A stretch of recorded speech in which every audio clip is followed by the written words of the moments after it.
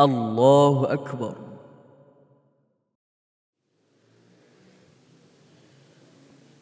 السلام عليكم ورحمة الله وبركاته.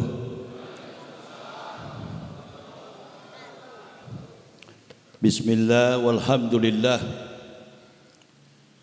والصلاة والسلام على رسول الله وعلى آله وصحبه وموالاه. Amma ba'ad, Faya ibadah Allah Ittaqullah. Haqqatu qatih Wa la tamutunna ila wa antu muslimun. Wa qala Allah ta'ala fil kitabil azizil karim A'udhu billahi minas syaitanir rajim. Bismillahirrahmanirrahim Bismillahirrahmanirrahim.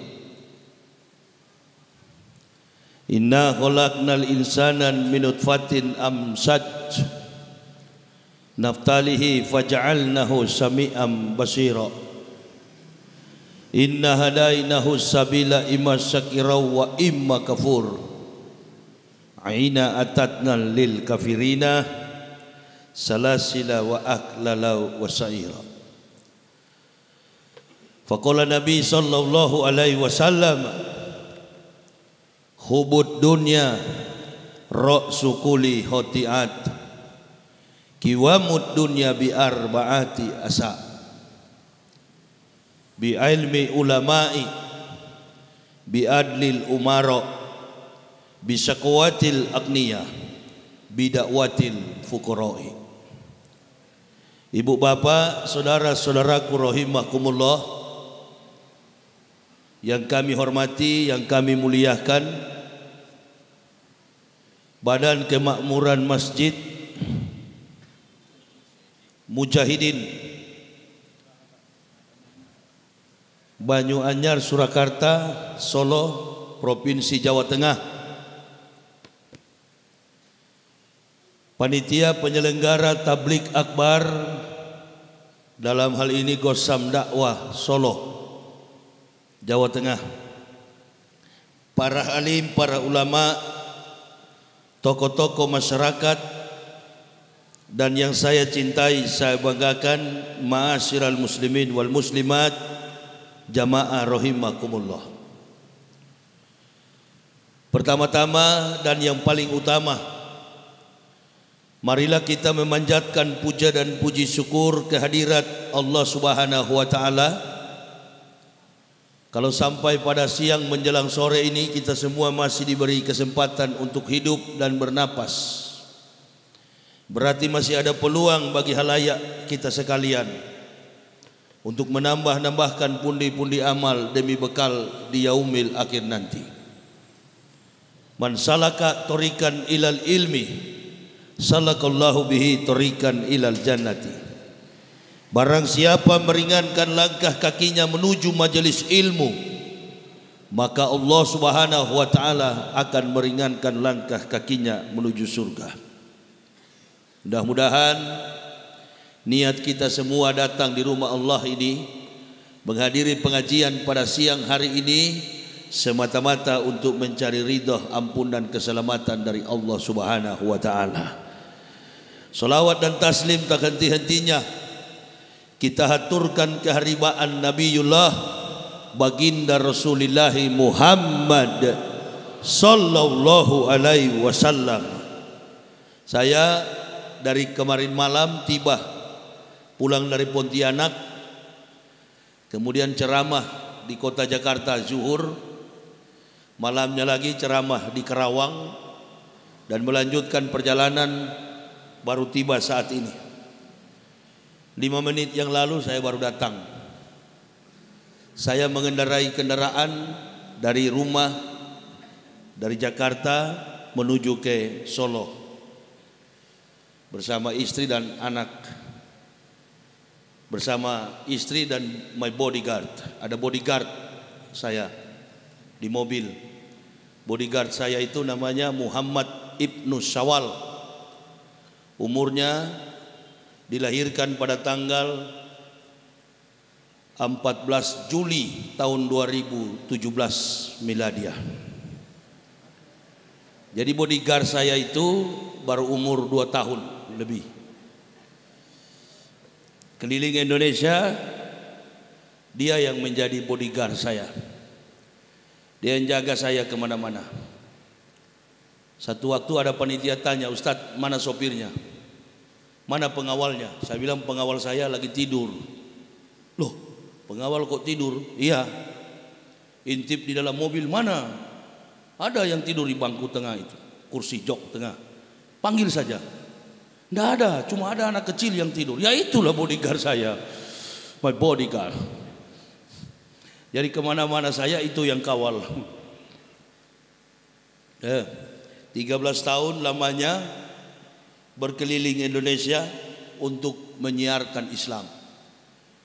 Menceritakan, mengisahkan bahwa agama Islam itulah agama yang paling benar. Agama Islam itulah adalah agama yang dibawa oleh para nabi-nabi sebelum datangnya Rasulullah Muhammad sallallahu alaihi wasallam.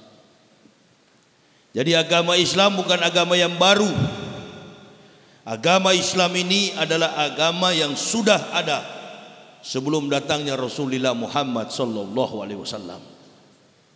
Rasulullah wasallam hanya diperintahkan oleh Allah untuk menyempurnakan agama Islam itu. Makanya di Al-Quran Allah berfirman Wahai Muhammad Pada hari ini kami sempurnakan Islam menjadi agamamu. Jadi Rasulullah bukan datang membawa Islam. Beliau datang menyempurnakan Islam. Karena agama Islam itu sudah ada sejak diutusnya 123 ribu 999 nabi. Karena jumlah nabi di dalam Islam itu ada 124 ribu. Dari 124 ribu nabi ada 25 rasul. Termasuk di dalamnya baginda Rasulullah Muhammad sallallahu alaihi wasallam. Dari 123.999 nabi tak satu pun nabi yang berhasil membawa menegakkan Islam. Perhatikan baik-baik. Dari 124.000 nabi, 123.999 nabi gagal membawa iman tauhid agama Islam. Lalu datang Nabi yang terakhir pada abad yang keenam. Berasal dari Semit Selatan. Ada dua semit, ada dua rumpun semit, semit timur, semit selatan. Semit timur ini adalah orang-orang Yahudi, semit selatan ini liga-liga Arab. Nabi yang dari Arab, nabi yang terakhir Rasulullah Muhammad sallallahu alaihi wasallam. Di mana bekasnya? Di dalam Al-Quran begitu jelas Sebelum datang Rasulullah sallallahu alaihi wasallam Nabi Musa, Nabi Isa sudah menyampaikan ribuan tahun sebelumnya.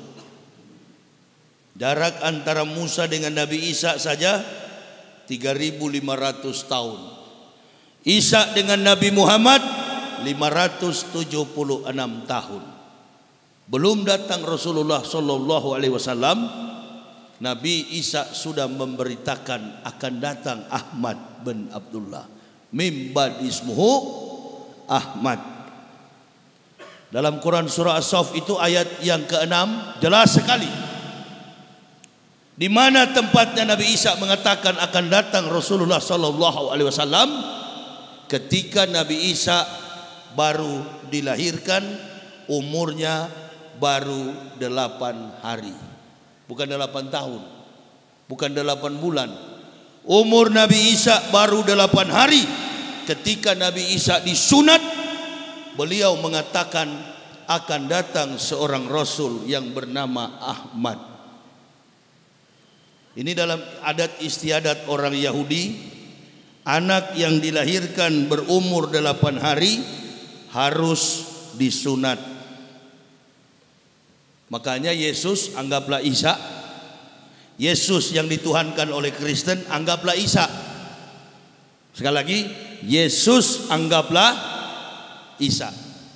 Karena Isa belum tentu Yesus. Yesus sudah pasti bukan Isa. Tapi anggaplah, anggaplah Yesus adalah Isa.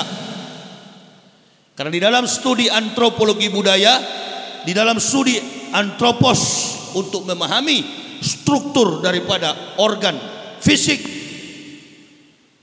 manusia harus menggunakan beberapa metode. Pertama, studi antropologi budaya. Dari mana nama Isa berasal? dari mana nama Yesus berasal. Dulu kita di Indonesia ada satu peristiwa yang menggemparkan publik. Ada orang yang mengaku sebagai pahlawan Supriyadi. Betul? Ada itu tahun 2008 kalau tidak salah.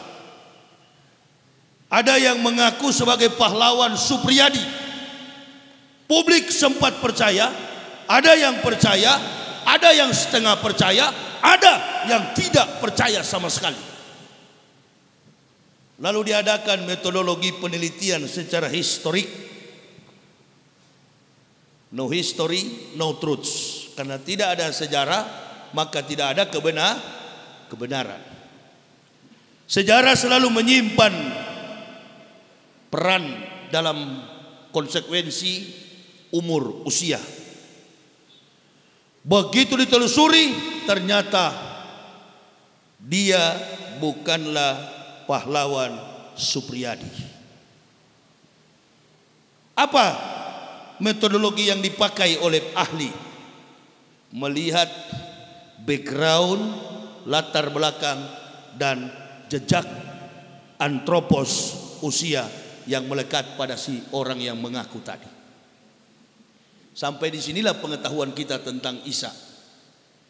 Kira-kira adakah orang yang mampu menyerupai? Adakah seseorang yang mampu mengatakan bahwa dirinya adalah Isa Al-Masih? Lalu kemudian sejarahnya dirubah. Kitab suci dipaksakan. Kitab suci dipaksakan. Teori dipaksakan kalau teori sudah dipaksakan, dapat dipastikan bahwa orang akan hidup di atas hukum halusinasi. Makanya agama Kristen itu bukan agama samawi. Agama Kristen tidak ada hubungan dengan Nabi Isa. Agama Kristen tidak ada hubungan dengan kitab Injil. Agama Kristen itu adalah agama filsafat. Makanya ada pendeta yang mau melawan saya, innalillahi. Saya tantang satu Indonesia pendeta di Indonesia ini. Satu Indonesia saya tantang. Dari umat Islam cuma saya sendiri. Jejak perjalanan Nabi Isa alaihissalam baik dinilai dari Bible Kristen maupun dalam konteks sejarah Al-Quran. Nabi Isa itu tidak identik dengan perlakuan adat istiadat bahkan sampai kepada problem liturgika syariat ibadah umat Kristen. Saya kasih contoh. Di dalam Lukas pasal 2 ayat 21 menurut Bible Kristen pada hari yang ke-8 anak itu dilahirkan, disunat dan diberi nama Jesus.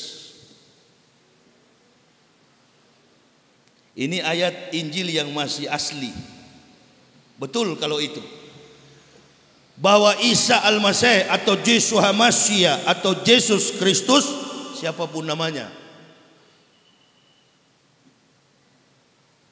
Kalau itu ditujukan kepada Nabi Isa, betul bahwa Nabi Isa dilahirkan pada tanggal 6 sebelum Masehi berumur delapan hari Nabi Isa disunat. Itu betul.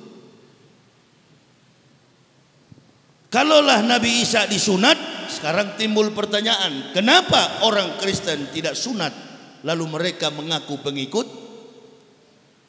Yesus? Ini jadi bingung, orang Islam pun ikut-ikutan. Ada yang mengatakan kitab Kristen Injil, ada juga yang mengatakan Isa adalah Yesus. Ini sudah melekat dalam pemikiran umat Islam juga. Padahal tidak sah iman Islam kita kalau kita tidak beriman kepada salah satu kitab yang Allah turunkan termasuk di dalamnya kitab yang dibawa oleh Nabi Isa alaihissalam namanya in Injil. Qul amanu billahi wa ma unsila ila Ibrahim wa Ismailah wa Ishak wa Yakub wal asbati wa ma utiya Musa wa Isa wa ma utiya nabiyun min rabbihim la nufariqu baina ahadin minhum wa nahnu lahu muslimun. Jadi kita orang Islam ini disebut sebagai muslim karena kita beriman kepada semua kitab para nabi nabiullah termasuk di dalamnya adalah in Injil. Tidak ada kitab Kristen itu di luar ditulis judulnya Injil. Enggak pernah ada itu. Kitab Kristen itu enggak pernah ada judulnya Injil. Kitab Kristen itu judulnya New Testament, perjanjian baru. Enggak pernah tertulis kitab suci Kristen itu di luarnya Injil, enggak ada. Orang Kristen aja enggak mengakui, antum yang akui. Isi daripada kitab Kristen itu adalah makna filosofi spekulatif, filsafat. Makanya agama Kristen itu bukan agama samawi. Agama Kristen itu adalah agama filsafat. Menerjemahkan setiap ayat dalam Bible Kristen harus ditafsir secara filsafat. Maka mereka mentuhankan Tuhan mereka dengan cara metodologi filsafat Safa. Selama ini kita terjebak. Orang katakan Nas Jakir Naik katanya jago. Jakir Naik itu hebat. Jakir Naik berdebat.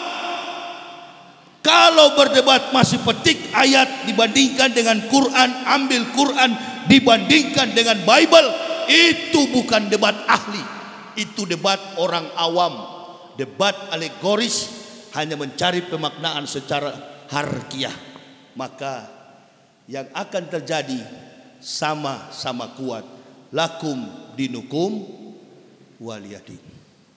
Saya kalau mau debat dengan pendeta kalau jadi tanggal 26 Oktober ketika duduk di meja debat sebelum berdebat saya akan tanya antum sudah sunat atau belum? Itu yang saya mau tanya dulu Kenapa Bapak tanya begitu? Ya karena Tuhanmu di dalam Biblemu sendiri disunat. Bukan dibaptis tapi di disunat. Mana yang lebih Anda percaya? Dibaptis atau disunat?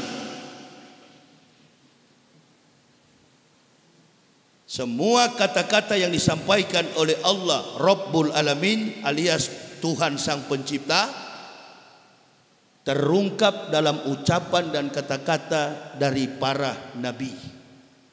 Lalu tanya kepada orang Kristen, adakah satu nabi saja yang pernah dibaptis?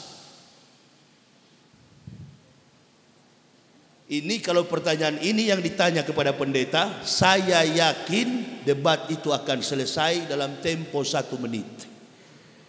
Kebetulan di kepala saya ini ada 13.766 pertanyaan. Itu baru yang termudah. Jangan cari ayat dan kalau terjadi perdebatan, saya tidak akan membawa secuil kertas pun dalam meja debat. Silakan kau para pembohong ahli kitab, pendeta, kau bawa kitabmu satu kontainer. Seperti dulu waktu Prabowo membuktikan barang, barang bukti, satu kon kontainer. Saya nggak pakai barang, nggak akan bawa kitab. Dan jangan pernah berharap saya juga akan memakai Al-Quran. Enggak. Al-Quran itu bukan kitab perbandingan. Saya sudah tonton orang berdebat.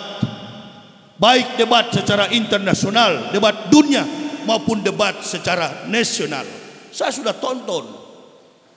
Bukan debat ilmiah karena dari pihak Islam bukan asli, bukanlah orang yang pernah belajar tentang Christolog. Jadi dia nggak paham tentang antropos visual, physical daripada Al-Masih. Saya orang yang langsung bertatapan ber, berhadapan dengan kultur dan budaya Israel.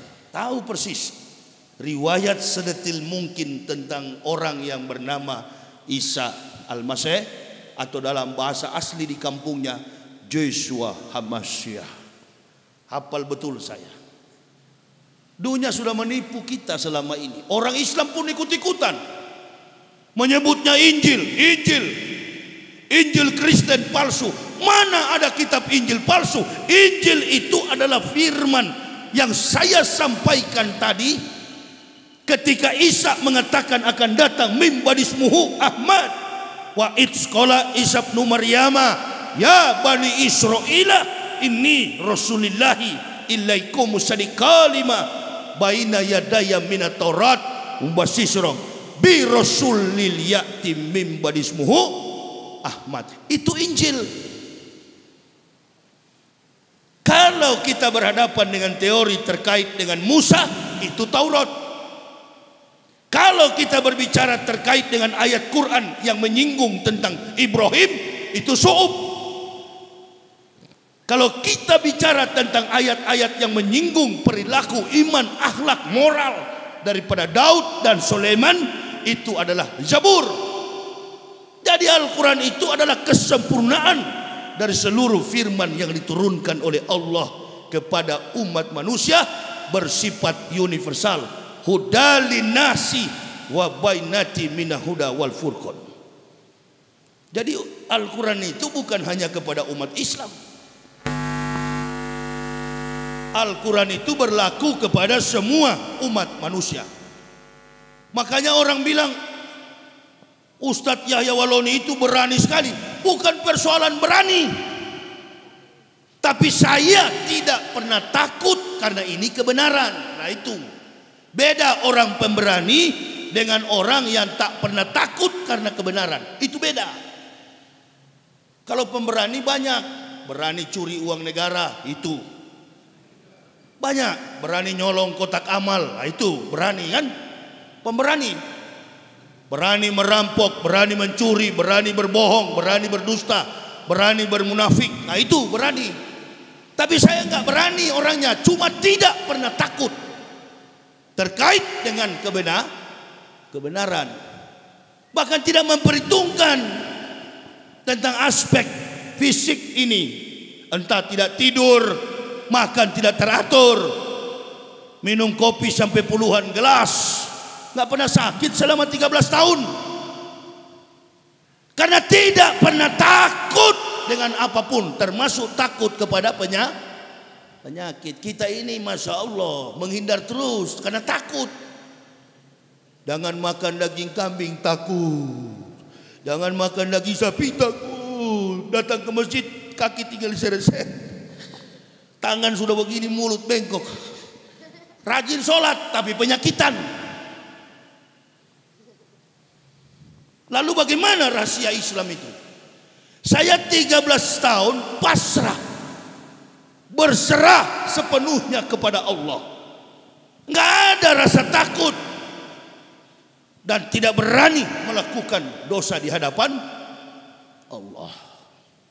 Nah itu itu jadi orang beriman begitu. Bukan persoalan berani. Saya selalu mengatakan orang-orang Kristen itu tempatnya di neraka. Kalau masuk mati masuk neraka. Tahu saya wali kota sini kafir Kristen. Bukan tidak tahu, saya tahu. Tapi tempatnya memang di neraka. Karena yang masuk surga hanya orang is Islam. Nggak ada tuh saya saya nggak butuh dikawal-kawal itu nggak pernah takut saya keliling ke mana-mana, my bodyguard, my my boys. Dua tahun umurnya. Itu bodyguard saya. Bicara pun dia belum bisa. Jadi sifat-sifat kita yang mengenal iman tauhid yang sempurna itu betul-betul kita beriman kepada Allah bukan karena kita berani. Banyak juga yang berani akhirnya konyol di jalan. Kita berani, kita demo di jalan, berhadapan, diadu dengan polisi. Ah, padahal polisi juga Islam, kita juga Islam. Takbir sama-sama, Allahu Akbar, lempar batu, kafir di pintu gereja. Haleluya. Berhasil kita adu domba. Ah, ini berani apa ini? Berani apa? Berani berhadapan dengan sesama muslim. Giliran dengan kafir dia jilat pantat kafir, kotoran kafir. Ini golongan munafik. Mudah-mudahan tidak ada di Solo sini, tapi di sinilah banyak sekali itu, apalagi besok malam di Boyolali itu. Ada teman-teman saya di daerah, hati-hati Ustadz, Boyolali itu rawan sekali. Saya cari yang begitu-begitu. Tak pernah takut saya. Itu beda. Pemberani dengan tak pernah takut beda. Nggak pernah saya takut. Sejak saya Muslim, tapi waktu saya masih kafir, penakut besar saya. Ya, begitu saya masuk Islam, nggak ada yang saya takut. Yang saya takut kalau tidak beribadah kepada Allah. Itu.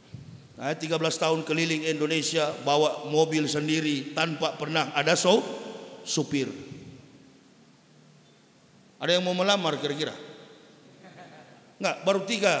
Satu hepatitis B, satu meninggal dunia dari Surabaya ke situ Bondo. Saya bangunkan sholat subuh, sudah nggak ada napas. Kirim ke kampungnya di Gorontalo, meninggal dunia. Satu minta ampun. Aduh Ustadz kalau begini lama-lama mati kita. Ayo, ini saya baru cuma dua jam tidur. Tidur pun tidur di rest area. Turun dari pesawat ceramah, malamnya juga ceramah, langsung ke sini, belum pulang rumah. Dari Pontianak, Kalimantan Barat. Mampu kira-kira begitu. Ukuran kesehatan medis sudah lewat sebenarnya. Sudah habis darah, sudah mati. Tapi saya lihat tidak, malah saya sehat. Tidak ada penyakit, Bawa mobil ribuan kilometer, apalagi tadi saya buru-buru, kecepatannya sampai 160. Anak istri saya sudah terbiasa. Begitu saya laju lihat GPS, lewat. Rupa-rupanya tutup jalan keluar itu, masuk keluar lagi di kap, kup, kap apa kap, kapur, kupiara, apa itu? Karang Anyar ini, siapa? Kaplur, kaplur atau apa itu? Palur. Ya, keluar ke sana. Sampai jauh ke sana. GPS sudah tinggal 11 menit. Jadi 32 menit keluar lagi. Mutar balik pompa bensin, lurus ke sini. Kelewatan. Sudah tutup pintu tol yang kami harus keluar. Enggak ada tuh saya minta dijemput manja cengeng untuk urusan dakwah begini. Sebaiknya para penceramah itu enggak usah Apalagi sekarang ini Islam itu di tengah ditekan betul-betul, kelihatan sekali. Kelihatan sekali memang Islam ini dibenci betul. Kemarin saya mendapat WhatsApp dari jamaah perusahaan PT Dirgantara Garuda Indonesia. Mereka berdoa mengucapkan hari kesakitan Pancasila. Bukan hari kesaktian, hari kesakitan Pancasila. Dia berdoa pakai doa Kristen. Innalillahi. Yang mendengar orang Islam berjilbab bahkan ada beberapa saudara ikhwan muslim di situ. Tidak ada kafir seberani ini dari dulu-dulu, baru kali ini. Mereka juga mencoba untuk mengganggu-mengganggu ulama. Sementara ulama-ulama kita sibuk berpolitik. Bukan mengurus umat. Yang di lapangan itu tinggal berapa orang? Saya, Tengku Julkarnain, UAS. Saya pulang dari Pontianak, UAS masuk, gantian. Tinggal beberapa orang kami keliling Indonesia. Ini dari sini saya ke Medan, pulang dari sini. Insya Allah umur panjang, habis dari Solo, langsung ke Medan. Untuk apa? Sepanjang sebulan, setiap bulan. Apalagi bulan kemarin waktu saya dibully oleh kafir, 17 kafir saya Islamkan. Udah ribuan. Itu namanya dakwah. Mengislamkan yang kafir, memperkokoh barisan umat Islam. Kebetulan saya ini tidak ada dalam organisasi Islam dan tidak mau bergabung dalam organisasi Islam mana pun. Gak mau saya. Karena saya adalah Muslim, ahlu sunnah wal jamaah. Orang kunut saya ikutan kunut, orang tak kunut lebih cepat, lebih bagus. Saya pun tak ikut. Saya bukan FPI, saya bukan Banser, saya bukan Ansor. Pokoknya saya adalah Muslim dari kafir yang Allah berikan hidayah, memperkokoh iman saudara Muslim, memanggil yang kafir-kafir supaya masuk Islam. Jadi itu tugas saya. Begitu Allah berikan hidayah, saya, istri dan tiga orang anak yang kami lakukan adalah membayar syukur kepada Allah. Nikmat hidayah yang Allah berikan. Orang lain tidak engkau berikan ya Allah. Kami sekeluarga engkau berikan harta yang berharga. Kami akan perjuangkan Islam ini sampai titik darah penghabisan. Keliling berdakwah. Allahu Akbar. Inilah saya datang di Solo sini sampai tanggal 7 ke depan insya Allah umur panjang kita bisa sampai tanggal 7 ke depan. Saya hanya memperkenalkan diri pada siang hari ini. Saya situasinya kurang konsen saya. Pertama bukan masalah di jalan terlalu ribut saya mau menjelaskan secara detail tentang Isa Al-Masih kayaknya sulit situasi dan kondisinya kurang mungkin saya masih terlalu lelah tapi nanti malam barangkali baru bisa dengan konsentrasi yang penuh siang-siang begini memang saya tidak tahan panas makanya saya masuk Islam. Apalagi kalau di sana nanti di neraka kan begitu. Jadi saya hanya memperkenalkan diri saja bahwa kami sekeluarga ini sudah kurang lebih 13 tahun beragama Islam. Dan begitu Allah berikan hidayah, kami sekeluarga berkeliling berdakwah menegakkan dinul hak, dinul Islam. Sembari berdakwah, kami pun menulis buku. Ada beberapa puluh judul buku yang telah kami buat dan kami bawa ke mana-mana kami pergi dan berada. Jadi kalau ada pendeta mau melawan saya, saya sarankan jangan satu orang lah. Kalau perlu, saya tantang satu Indonesia bikin di Istora Senayan Jakarta. Di Surabaya kemarin kan gagal. Gara-gara terlalu berkoar-koar Esra Soro itu, akhirnya dicium oleh BKUG, Polres distopkan. Yang buat itu Abdullah Wasian Foundation. Gara-gara mulutnya si kapir itu batal. Ini si kapir ini dia orangnya suka ganggu-ganggu saya dari dulu. 2007 diajak debat, Datang saya ke Surabaya, dia yang tidak datang. Dia viralkan.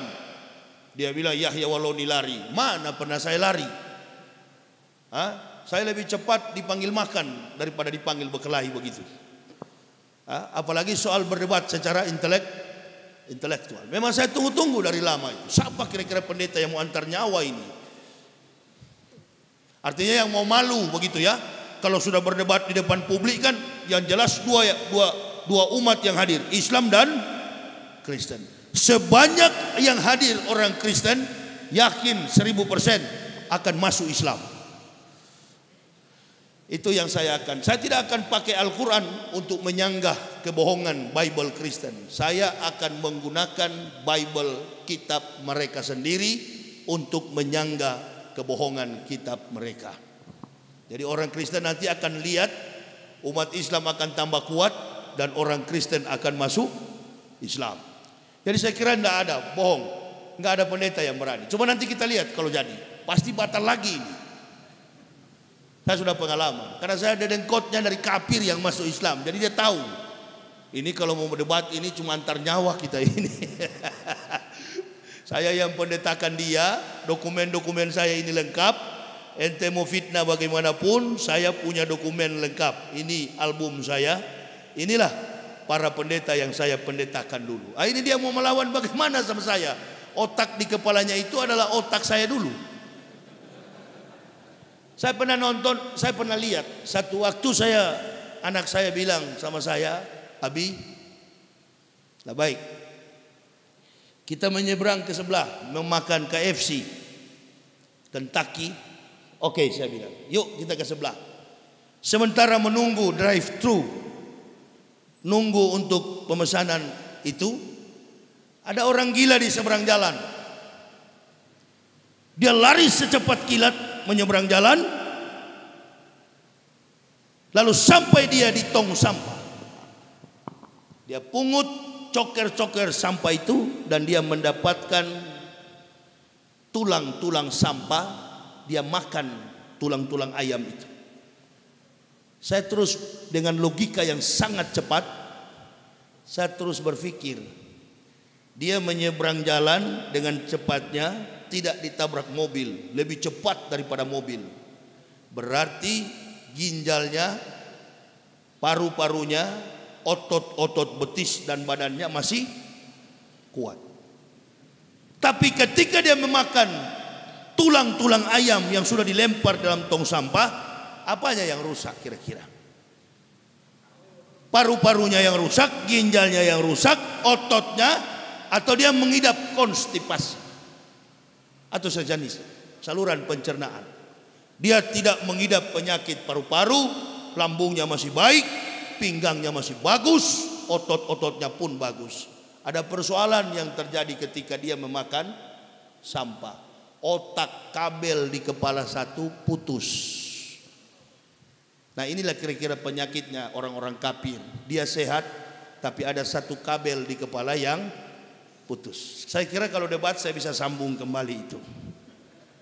Karena saya juga dulu orang yang kalau saya nggak bisa ada yang sambung waktu putus dulu. Karena memang orang yang membuat rancangan kabel-kabel itu saya. Jadi begitu saya masuk Islam, saya tidak ada bisa sambung. Yang sambung adalah au may yahdillahu fahuwal muhtadin wa mayudlil faulaika humul khasirun. Allah yang sambung kabel di kepala saya melalui apa? Laqad ansalna ayati mubainatin wallahu yahdi mayyasya'u ila siratim mustaqim.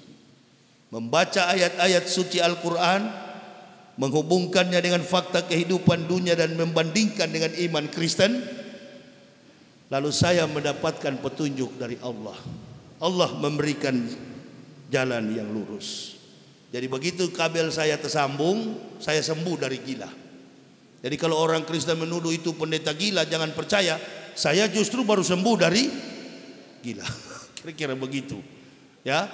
Jadi saya dan keluarga alhamdulillah tidak semudah bukan seperti yang lain mau masuk Islam karena mau kawin, masuk Islam karena ikut-ikutan, Alhamdulillah kami satu keluarga rela ikhlas mengorbankan segala-galanya demi keselamatan kehidupan dunia dan akhirat.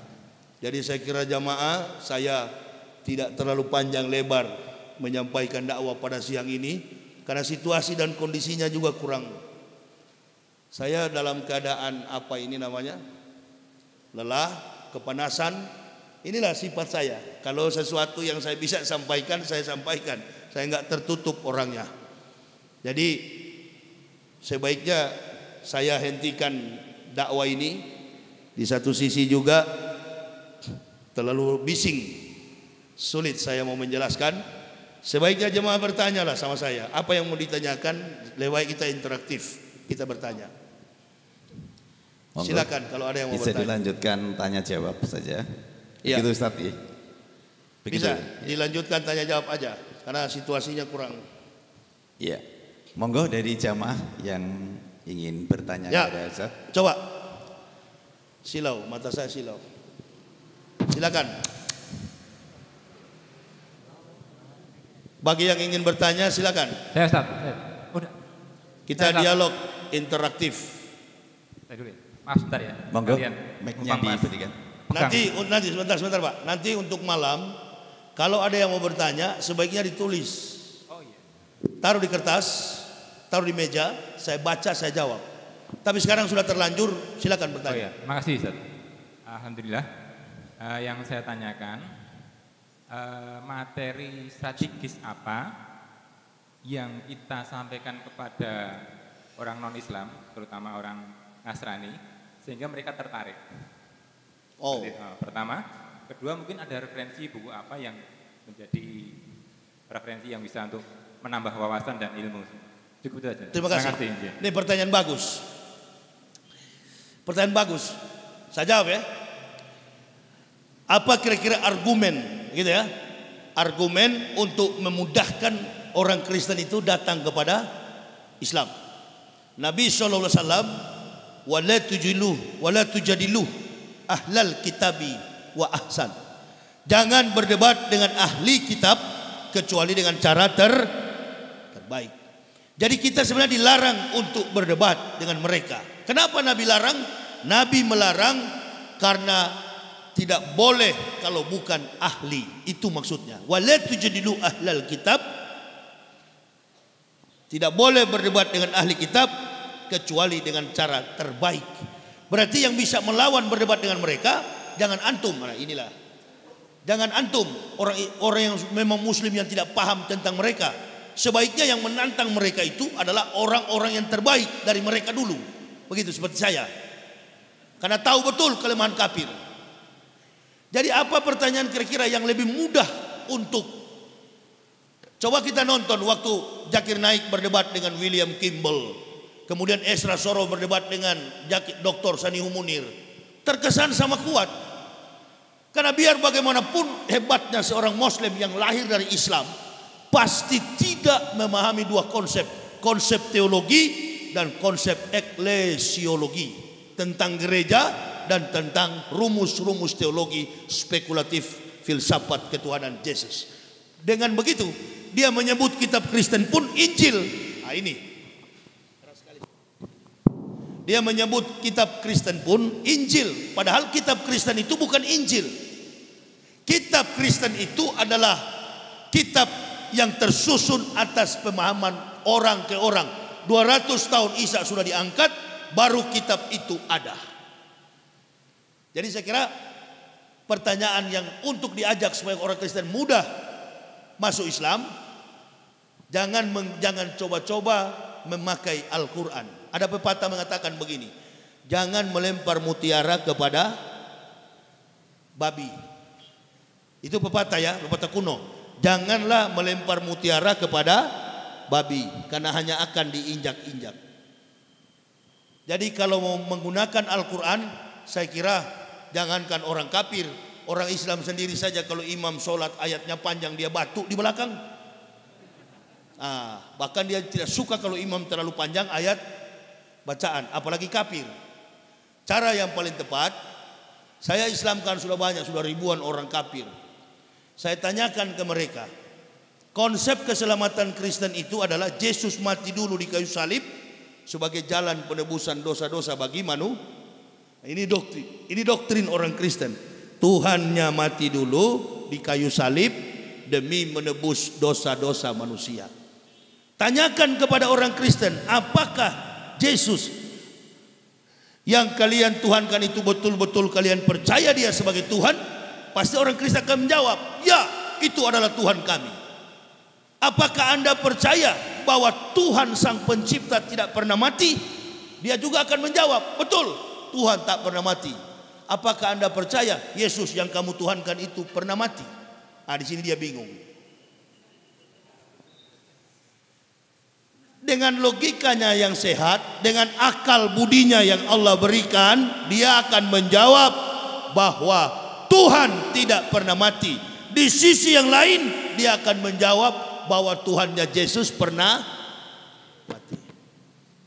Lalu Bapak tidak usah tidak usah melanjutkan bertanya, cukup tanya begitu. Apakah Anda percaya Tuhan tidak pernah mati? Dia pasti menjawab, gila kamu, masa Tuhan mati? Nah, saya per, saya tanya pernah atau tidak? Kalau dia bilang enggak, oh bagus, berarti kamu masih sehat ini. Baru tanya dia, apakah Yesus pernah mati? Ah, di sini dia mulai curiga. Ya dia kan mati demi menebus dosa-dosa manusia. Iya betul. Saya tidak mau tahu. Yang saya tanya sebagai dari seorang Muslim untuk kamu adalah apakah Yesus juga pernah mati? Begitu dia bilang pernah di kayu salib, baru kita tuding dia. Tadi Anda bilang Tuhan tidak mati. Sekarang Yesus pernah mati. Siapa yang kamu percaya? Yang tidak pernah mati atau Yesus yang pernah mati? Nah, lalu biarkan pukul cerita lain tinggalkan cerita itu nggak usah lagi di utak atik biar nanti dia berpikir sendiri yakin seribu persen satu malam dia nggak bisa tidur terbayang-bayang terus dengan itu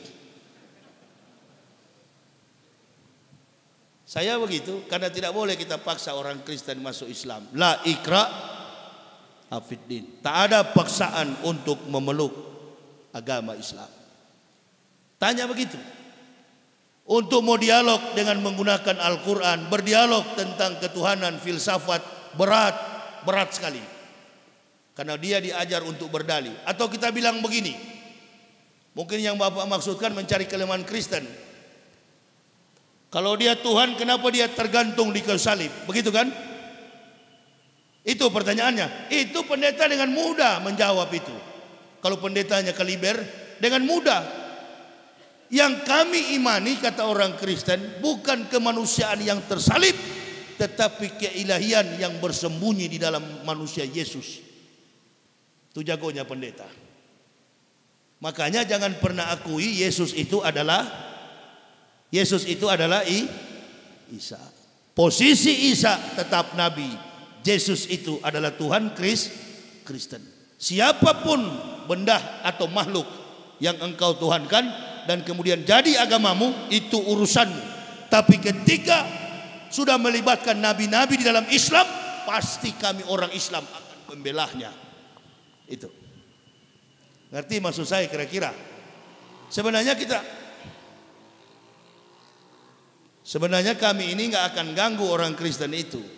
Tapi karena mereka selalu melibatkan bahwa Isa adalah Yesus, Yesus adalah Isa, nah di sini kami marah. Di sini kami berusaha meluruskan. Jadi kalau hanya bertanya, kalau dia Tuhan kenapa dia tergantung di kayu salib? Oh dengan mudah pendeta jawab itu. Dengan mudah. Dia akan bilang, yang kami Tuhankan bukan orang yang tersalib. Yang kami Tuhankan adalah keilahian yang bersembunyi dalam orang, dalam manusia Yesus itu. Bapak mau jawab apa lagi? Nah makanya sebelum debat, jangan pernah mengakui Bible Kristen itu Injil dan Isa adalah Ye Yesus. Karena Nabi Isa tidak mampu divisualisasikan baik dalam bentuk gambar maupun foto. Nabi Muhammad aja tidak ada gambarnya, kok bagaimana Nabi Isa ada gambarnya? Nah, siapa itu? Orang yang disalib itu.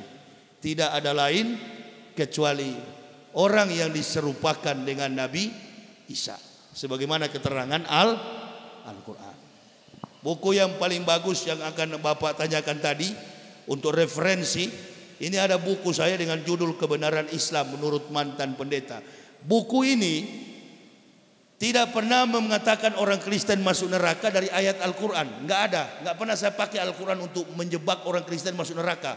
Tapi buku ini, dalam buku ini, yang mengatakan orang Kristen masuk neraka adalah ayat-ayat Kristen itu sendiri. Menyanggah lawan, mengalahkan lawan dengan kitab lawan. Itu. Jangan pernah mengatakan dengan Al-Quran. Kalau kita bilang dia masuk masuk neraka karena Al-Quran, Allahu Akbar. Dia akan bilang, kitab saya mengatakan saya masuk surga. Ayo. Coba. Waktu Ustaz Somad dilaporkan terkait peristiwa salib. Ulama besar Ustaz Somad ini di kalangan umat umat Islam. Sekarang saya mau tanya, begitu Ustaz Somad dilapor, adakah argumen dari Ustaz Somad untuk bisa bela diri? Dia walaupun kafir tapi dia legal di negara ini. Tetapi kalau Ustaz Somad sampai dipanggil, saya akan siap bersaksi sebagai saksi ahli. Akan saya katakan bahwa eksekusi salib itu bukan terjadi pada Yesus Kristus atau Isa Al-Masih. Ketika beliau di, diadukan di polisi, Bapak lihat Jamaah boleh bisa perhatikan konferensi konferensi di MUI tanggal 21 Agustus MUI pun angkat tangan. Karena sehebat-hebat kiai, sehebat-hebat ustadz, mereka nggak mengerti konsep kebohongan kafir Kristen. Yang paling tahu tentang kebohongan itu adalah kami-kami yang dari kafir. Orang dari kafir pun tidak semua bisa tahu. Kecuali memang sudah ahli seperti saya. Jadi kalau saya katakan tidak ada. Saya akan bilang di depan hakim. Peristiwa penyaliban itu bukan peristiwa Yesus atau Isa atau Yesus Hamasyah atau Yesus Kristus atau the Christ Jesus atau siapa pun yang dituhankan Kristen yang disalib. Yang pertama Bapak Hakim ini cerita gila di mana ada Tuhan disalib itu satu. Karena ini dipanggil secara di ranah hukum horizontal. Padahal ini tidak bisa dipidanakan. Ini adalah hukum fair vertikal. Dan yang kedua, salib itu bukan lambang Tuhan disalib atau orang Isa nabi disalib. Salib itu adalah lambang eksekusi mati dalam sistem pemerintahan Romawi, Rum. Makanya ketika berkunjung saya ke sana, saya ingin tahu mana itu bukit Golgota. Bukit Golgota itu bukanlah bukit di mana Isa disalib. Tetapi bukit itu adalah Golgota itu artinya bukit tengkorak. Karena orang disalib di situ dari tahun 65 sebelum Masehi sampai tahun 6 Masehi Isa al-Masih lahir. Romawi memerintah menguasai Yerusalem dari tahun 65 sebelum Masehi sampai tahun 6 Masehi.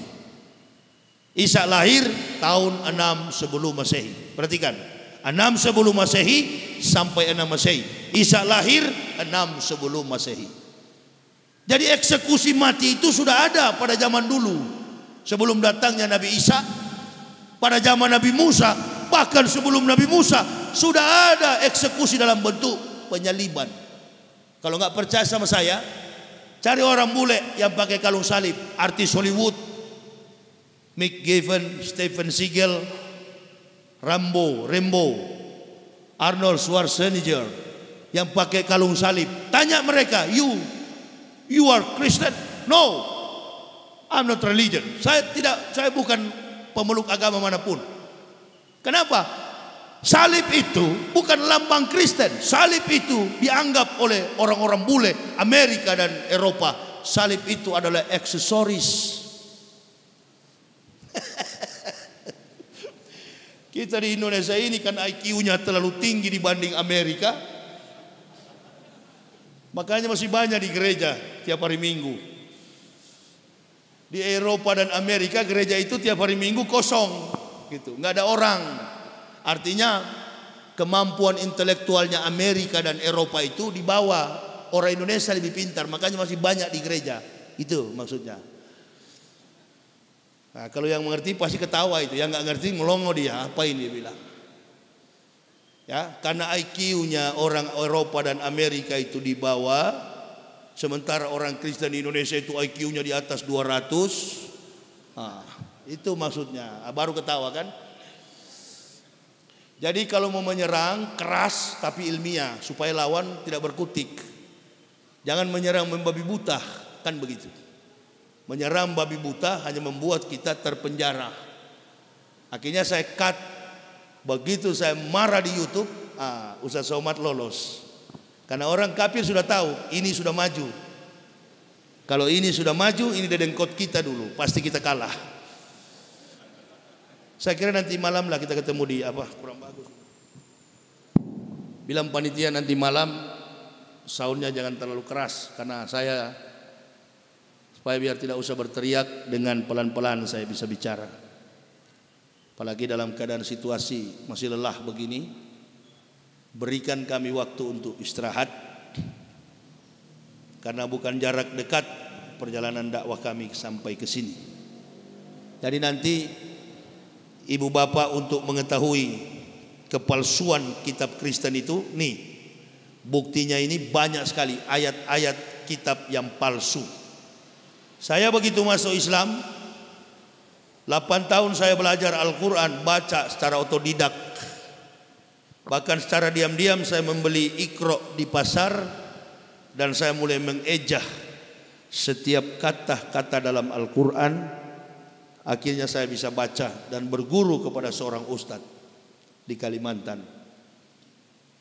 8 tahun saya baca Al-Quran. Jangankan satu kata, satu titik dalam Al-Quran tidak mampu diselewengkan oleh otak dan tangan kotor manusia. Kitab Kristen itu tiap hari dirubah, hampir tiap minggu. Matius bilang lompat ke kanan, Markus bilang salto ke depan, Paulus bilang jungkir ke belakang. Bingung kita paham. Panggil saja orang Kristen tanya kalau ada yang mengerti kitabnya. Gak ada yang mengerti karena makna yang tertuang dalam kitab Bible Kristen adalah makna fil safat. Harus ditafsir, dijelaskan secara fil safat. Ketuhanannya pun fil safat. Tuhan turun pangkat jadi orang, orang naik pangkat jadi Tuhan. Dibolak-balik itu namanya fil filsafat. Filsafat adalah induk dari semua ilmu. Tapi kalau rumus filsafat spekulatif tentu bukanlah ilmu pengetahuan. Tapi hukumnya adalah hukum halusi. Meja ini terbuat dari kayu, pasti yang buat adalah tukang kayu. Sampai kapan pun meja tetaplah meja ciptaan dan tukang kayu adalah pen, pencipta. Dipaksa bagaimanapun, artinya ayat-ayat kitab suci dipaksa bagaimanapun Tuhan jadi orang, orang jadi Tuhan, sampai botak kepala orang kafir tak bisa. Paham kira-kira? Di Islam tak ada yang begitu. Kalau Islam suka menuhankan Isa, lebih dahsyat dari ayat Kristen. Bahkan di Al-Quran dijelaskan, Isa adalah orang yang terkemuka di dunia dan akhirat kalau sudah bicara terkemuka di dunia dan akhirat, mudah sekali kalau difilsafatkan menjadi tu, Tuhan. Adakah Al-Quran bisa difilsafatkan? Karena di referensi ayat yang lain dikatakan bahwa tidak ada Tuhan selain Allah. Nah ini, inilah Al-Quran. Letak eksologi, etika, logika, estetika ditaruh pada substansi yang benar. Semua konsep turun-turunnya ayat berdasarkan perjalanan sejarah. Kisah tentang Nabi Isa, ibunya Maryam dijadikan sebagai judul daripada kitab. Realistis, kontekstualis, teologis, sistematis, dan rasional. Inilah kitab suci. Ini yang saya percaya. Dan tetap relevan dengan kehidupan zaman sekarang. Kehidupan yang pernah, sementara, dan akan terjadi. Al-Quran itulah sebenar-benar firman dari Allah Subhanahu wa taala. Keluar kami masuk Islam dan mengamalkan Islam dengan baik. Bukan orang Islam yang mengislamkan kami sekeluarga. Kalau orang Islam yang mengislamkan kami, mungkin sampai hari ini enggak Islam-Islam kami. Karena yang masuk-masuk penjara itu kebanyakan orang Islam. Tidak ada nama Matius, Markus, Yohanes, Stefanus, Tetanus, nak jarang. Yang masuk-masuk penjara itu kebanyakan orang is Islam. Ini tidak bisa diukur secara etika, exology. Islam kebenarannya tidak bisa diukur dengan perbuatan akhlak moral daripada umat Islam. Kenapa? Karena ada orang yang beragama Islam kelakuannya kah? kafir. Ada orang kafir kelakuannya is Islami. Jadi tidak cocok etika moral pribadi manusia dijadikan landasan mengukur substansi sebuah agama. Agama Islam ini harus diperhatikan dari kitab suci. Orang yang paling layak sebagai panutan contoh bahwa Islam itu benar, laqad kana lakum fi Rasulillahi uswatun hasanatu liman kana yarjulua wal yaumal akhir wa zakarallaha katsiran di dalam diri Rasulullah sallallahu alaihi wasallam terdapat suri teladan yang baik bagi kamu. Bagi siapa? yaitu orang-orang yang senantiasa bersyukur dan mengingat Allah. Orang-orang yang mengharapkan yaumil akhir dan yang senantiasa bersyukur kepada Allah. Jadi ilmu yang paling tinggi dalam Islam itu adalah ilmu bersyukur. Bukan karena dia kiai, bukan dia hafiz 30 juz, bukan dia jago pidato, bukan di kepalanya bersarang ribuan hadis. Orang Islam yang hebat adalah pandai, pandai dan pandai bersyukur. Banyak orang kiai kemudian jadi politikus. Nggak usah contoh jauh-jauh Pak Maruf Amin itu. Itu ulama besar jadi politi politikus. Nabi katakan waspada. Isyaru salasa asnapin minanasi wahum. Waspadalah dengan tiga golongan manusia di antara kawanan umatku. Yang pertama al ulamaul gofilun, ulama-ulama yang lalai.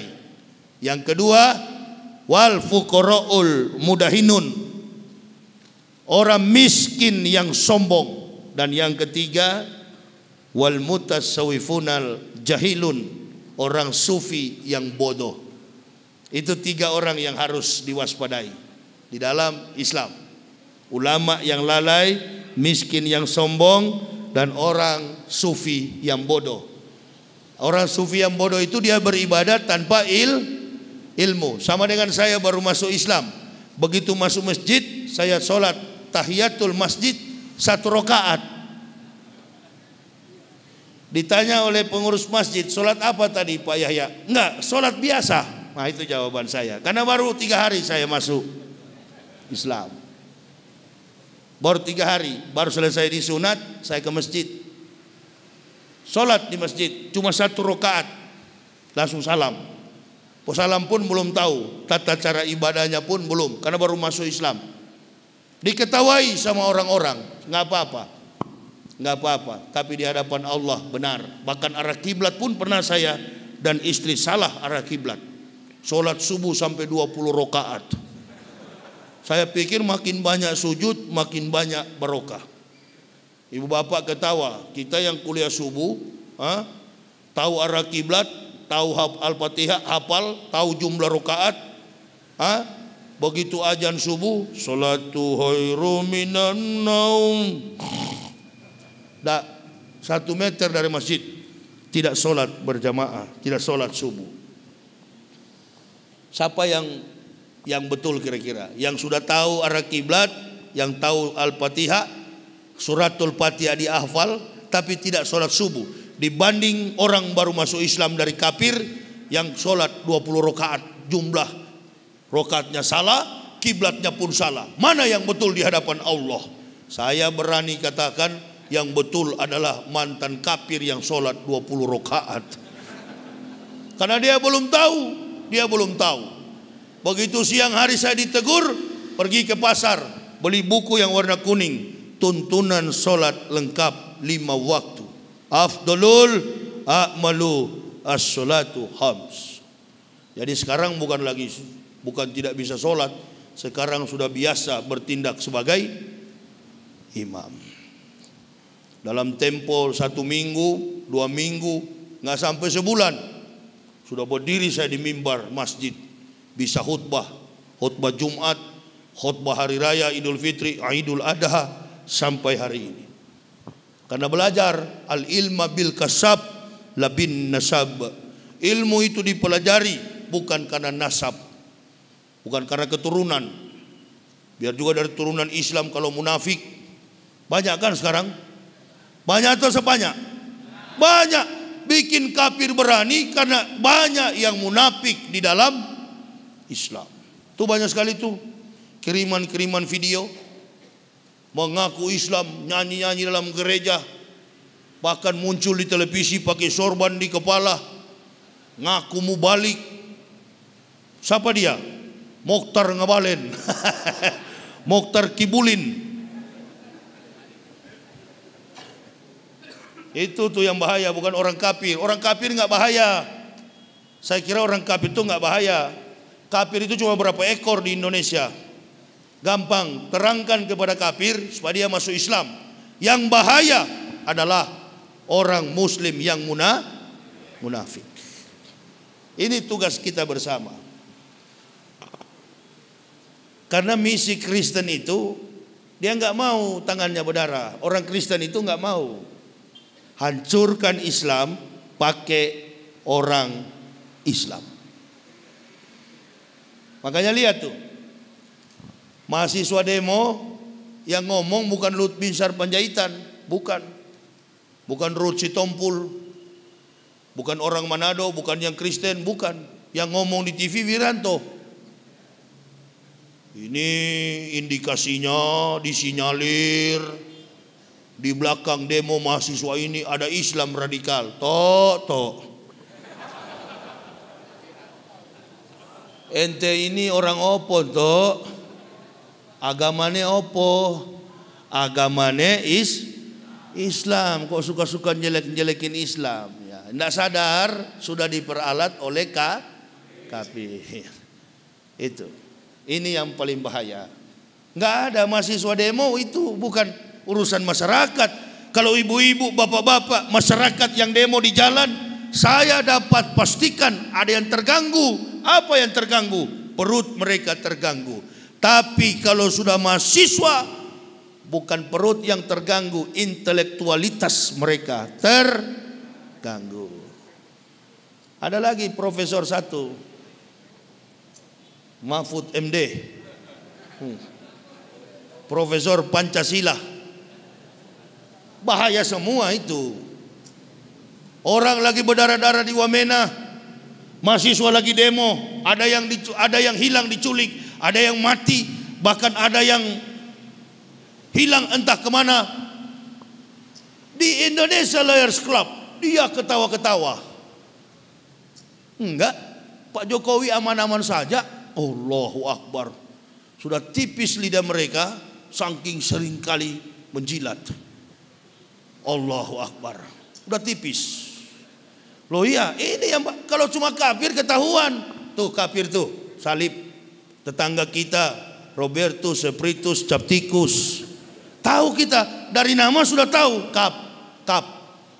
Tapi yang di dalam masjid begini nih, mus, mun, munafik. Ya kan? Dulu kan waktu saya masuk Islam cuma dua golongan. Mus dan kap. Muslim dan kafir. Ada golongan baru, mun. Munafik. Ini lebih bahaya daripada orang ka kafir. Coba nonton TV Indonesia Lawyers Club. Dulu Fahri Hamzah sebelah sana dengan Rocky. Malu kita sama teman saya, satu suku saya dari Manado itu. Kami orang Manado begitu memang. Kalau betul nggak perlu nggak pernah kami takuti apa pun kalau memang barang betul. Sama satu kampung saya dengan beliau itu. Dia kafir liberal tapi otaknya is Islam. Ini Islam otaknya ah kira-kira begitu. ya. Mana memang bingung sekarang. Mana yang sebenarnya yang muslim ini? Mana yang mukmin? Mana yang beriman? Ada juga orang liberal, filsuf, orang kafir, Rocky keluarganya di Manado satu kampung sama saya Rocky Gerung. Itu bapaknya, opanya semua keluarganya, bahkan adiknya satu itu dekan Fakultas Eksakta di Manado, Universitas Samratulangi, Profesor Grevo. Itu profesor semua keluarganya. Rocky aja bukan profesor, tapi otaknya mengajar S S3. Bahkan ada satu mata kuliah di Universitas Indonesia yang tidak mampu diajar oleh para akademisi, profesor di UI, Rocky bisa ajar selama 15 tahun. gajinya dia tak ambil. Dia tidak ambil gajinya sampai sekarang. Nah dia otaknya otak is Islam dibandingkan dengan yang lain. Ban Vespa di kepala putih. Datang ke gereja nyanyi-nyanyi lagu gereja. Yesus itulah. Indonesia Lawyers Club kemarin dia keluarkan ayat dari mulut. Komentatornya juga Karni Ilyas. Nanti saya undang kamu ke Indonesia, damai Indonesiaku. Wow, cocok sudah ini. Watak orang Indonesia. Saya bukan orang Indonesia, saya bukan orang Manado. Saya orang Islam.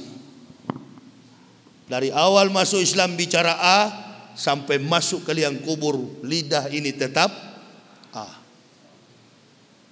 Jadi saya kalau tadi debat Tidak boleh menggunakan Al-Quran Tidak boleh juga meyakinkan agama Kristen dengan pakai ayat Kristen. Menempatkan teologi pada substansi yang rasional Sehingga dua agama bisa terima. Mana kira-kira agama yang betul? Dan yang terakhir saya akan bilang Saya akan minta kepada semua pendeta Berikan satu contoh dalam Bible Yang bisa memberikan sumbangsi bagi terkaitnya perkembangan pemikiran, ilmu pengetahuan dan teknologi. Science and technology. Adakah kira-kira dalam Bible Kristen yang bisa mengungkap satu fakta terkait sumbangsi pemikiran, ilmu pengetahuan? Kalau di dalam Islam kan banyak dalam ayat-ayat Al-Quran. Saya sudah baca Bible Kristen itu, Bible Kristen. Tidak ada satupun ayat Kristen yang mampu memberikan sumbangsi pengetahuan terkait dengan perkembangan sains dan teknologi yang dikaji secara saintifik. Nanti kita lihat. Tapi di Al-Quran banyak. Termasuk sore nanti akan saya ungkapkan tentang menguak rahasia fitrah manusia di balik fakta hidayah. Nanti malam kita jumpa di Masjid Boyolali. Di masjid apa itu namanya? Masjid. Ya Kita jumpa di sana saja. Nanti bagi Bapak Ibu Saudaraku Yang ingin melihat biodata saya Secara lengkap Inilah dokumen saya mempendetakan para pendeta. Silakan nanti Saya di dalam setiap momen berdakwah Selalu membawa buku karya tulis saya sendiri dengan judul kebenaran Islam menurut mantan pendeta. Ini membongkar semua kebohongan kitab Kristen.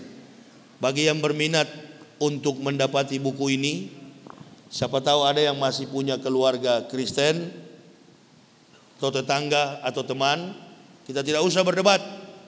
Suruh dia baca. Buku ini kalau dia sudah baca hanya dua. Dia pasti tidak ke gereja, atau dia akan mengucapkan dua kalimat syahadat.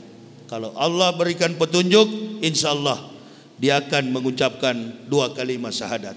Kalaupun Allah baru memberikan petunjuk, dia pasti tidak akan ke gereja. Tapi dia juga tidak masuk Islam. Untuk ke gereja dia sudah nggak mau. Nah itu. Nanti kalau lama-lama dia sudah bosan ke gereja kan juga tetap dia akan ke Islam. Ada yang langsung begitu membaca langsung telepon, Ustadz, saya baca buku Anda, saya ingin masuk Islam. Oh sudah ribuan. Jadi saya nggak perlu ke gereja lagi berpidato. Cukup dengan karya tulis. Ini yang pendeta-pendeta jengkel. Dermanya habis di gereja. Domba-dombanya bersih masuk Islam. Apalagi kalau debat nanti habis satu gereja memang. Orang Kristen juga itu nggak mau sebenarnya dibohongi. Cuma dia menunggu siapa yang bisa menjelaskan. Nah saya nggak ada waktu menjelaskan ke mereka. Karena mereka selama ini marah sama saya, benci sama saya. Tidak ada waktu, kecuali kesempatan berdakwah begini. Dan bila mereka sudah membaca karya ilmiah, bagi yang berpengetahuan sarjana ke atas, magister and doktoral, paling cepat untuk mendapatkan petunjuk. Jadi saya kira ini ya yang bisa saya sampaikan kepada jemaah. Mudah-mudahan di waktu ke depan lebih baik lagi. Insya Allah kita akan jumpa pada malam hari nanti pada Isya. Saya akan ke hotel beristirahat sebentar. Nanti jumpa lagi di Boyolali pada jam pada Isya nanti malam. Saya kira ini yang bisa saya sampaikan. Bagi yang berminat untuk memiliki buku ini ada di mobil saya, silakan diambil tapi bayar. Kira begitu ya. saya kira gitu apa yang saya sampaikan. Terima kasih atas segala perhatiannya. Mohon maaf atas segala kekurangan saya. usikum wa nafsi bitaqwallah la ilaha illa huwa allahi falyatawakkalul mu'minun assalamualaikum warahmatullahi wabarakatuh